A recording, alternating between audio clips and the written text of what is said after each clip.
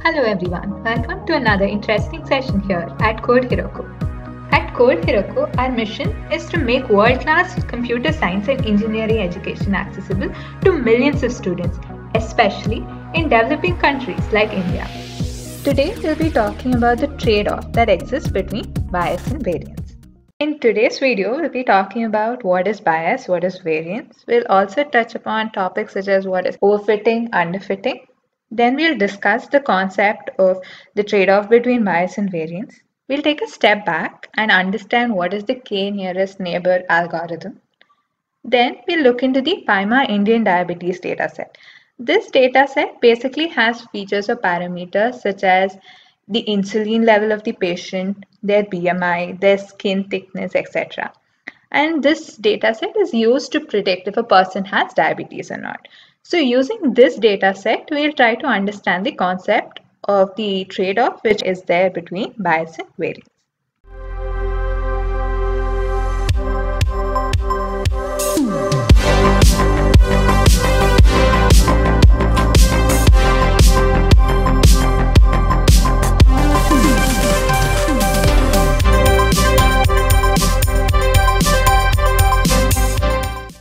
So what is bias?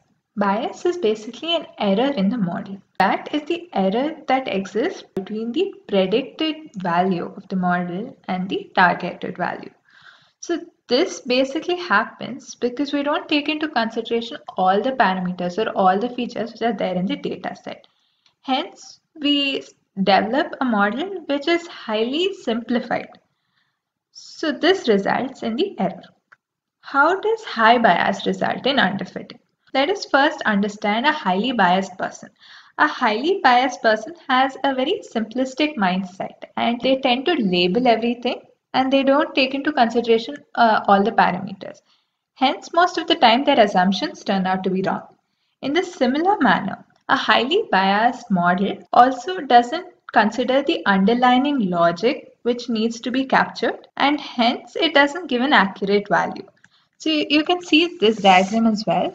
So the data curve is just uh, one degree. So mx plus c. So it's not capturing the entire curve. So if we had increased the polynomial degree, then it would have actually captured all the data and uh, would have given us higher accuracy. What is variance? Variance is the error which is caused due to the algorithm sensitivity to small fluctuation in the training data set. How does high variance result in overfitting? Basically what happens is high variance model can cause the model to capture even the noise along with the expected output. This usually happens in scenarios where the model is overly complicated. So what happens is that it starts capturing parameters which don't even share a relationship with the expected output.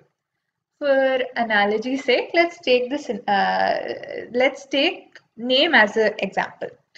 So name is usually random and we shouldn't give it predictive powers. Let's say we have a model and it starts considering name as a parameter. So it starts predicting that anyone with the name Bob has higher chances of having a particular disease or let's say has more chances of committing that particular crime eh, just because his name is so and so that wouldn't be right and that will lead to the drop in the accuracy of the model so you can also see this meme where uh, they've made a, a bed look like a person. So uh, many people might fit into it, but then again, the overlying concept of bed gets lost if we start making beds like that.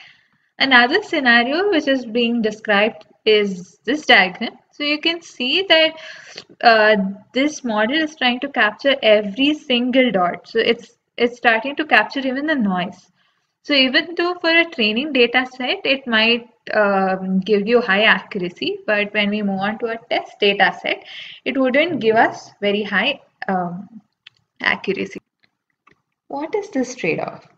Basically, we need to find a balance between variance and bias. We need to find a sweet spot such that the model is not underfit. At the same time, we should make sure we don't overtrain the data set, which would result in overfit. So you can see in this uh, case of underfit that the model is a very simple curve. It's, it's basically an mx plus c, a straight line graph. And you can also notice that a lot of um, important data are not getting captured here. So we can improve the model by taking into consideration features and parameters which play a vital role in determining the output. To overcome uh, uh, overfitting, we can implement cross validation. That is, we'll train on many data sets and then what we do is we take the average of that prediction. Another method to overcome overfitting would be early stopping. So if we get a hunch that we are overtraining it, we should stop earlier. You can notice here that this is a good fit model. So it's not a very simplistic model which gives a data curve which is you know a straight line. At the same time, it's not a highly complicated model which is giving us a data curve with a very, very high polynomial degree.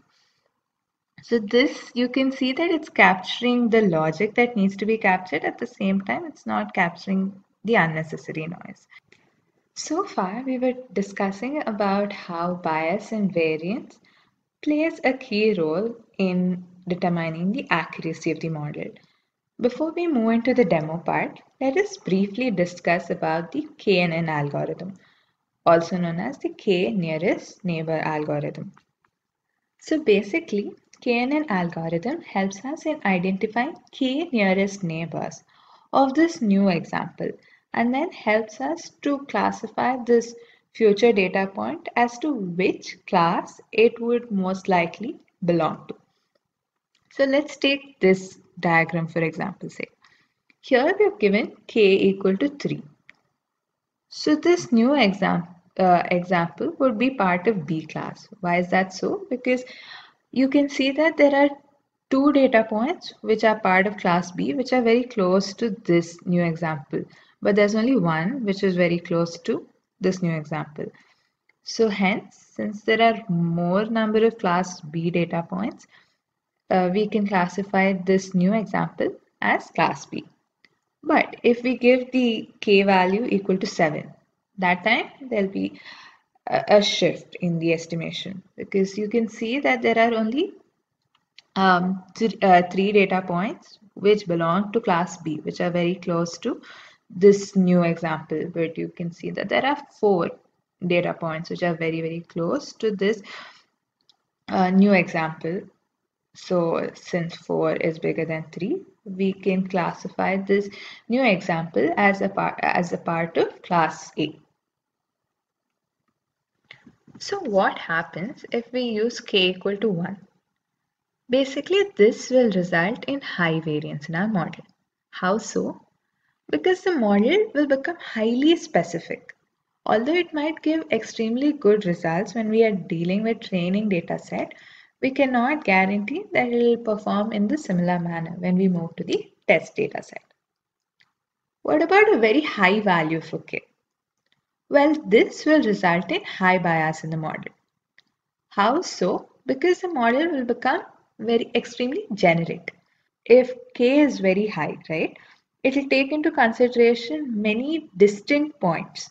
So we cannot be sure if it has considered all the possible contributing features correctly or not. Having this understanding in mind, now let us explore how changing the values of k will lead to high bias or high variance in our diabetes prediction example. Alright, so now let's try implementing this example using Jupyter Notebook. Our first step would be to import all the required library and package. Okay. Next would be to read the data set all right, so basically you can look into this data set. So we have a column called as outcome, which is a binary output. So it'll either tell if the person is expected to have diabetes or not based on a number of parameters like their age, their BMI, skin thickness, blood pressure, and various of other parameters and then we will assign the x and y values. Once we have that in place, we will divide the data set into training and test data set.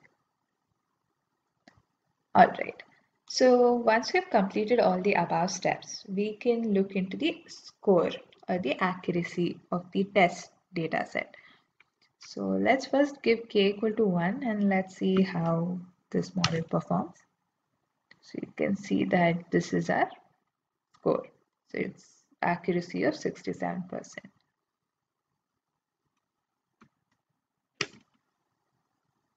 So this is 70%. So do note that the score is for the test data set. Okay, so basically to improve this accuracy rate, we need to find a k value which is between 1 to 100. So let us do one thing. Let us take a few possible values of k and fit the model on the training data set. And let's also graphically compute the test score uh, uh, accuracy and also the training score. So that's what we're trying to do here. So we've ranged k from 1 to 100. Let's run this cell.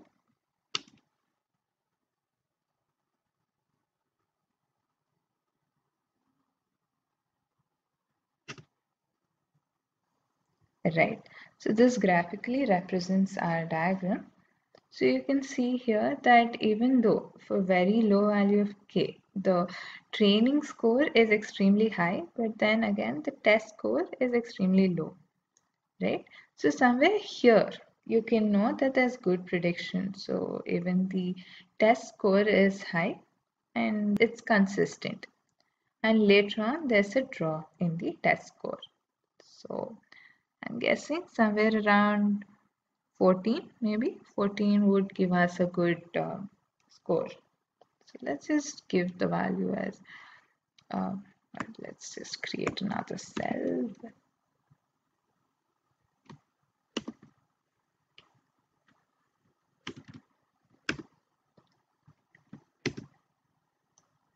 You can see that there is an improvement